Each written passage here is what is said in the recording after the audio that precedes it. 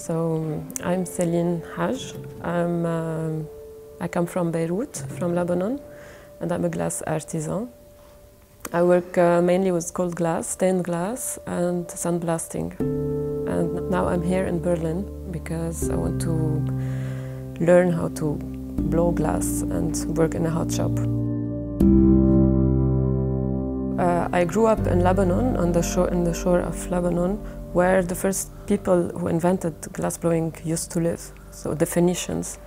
And uh, unfortunately, now the craft is almost dead. There's only one glass blower left. And um, I grew up like um, seeing them work, working and, and blowing glass. But I was just curious how the first people just got the idea to just blow glass.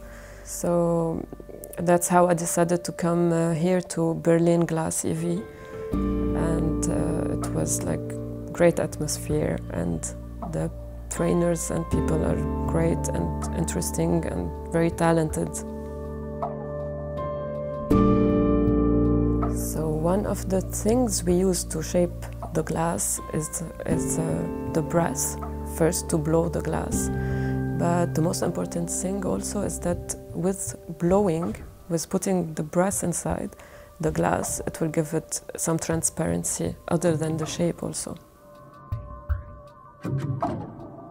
Blowing in the pipe can allow you to put something from you and give it a meaning or give it a use afterwards.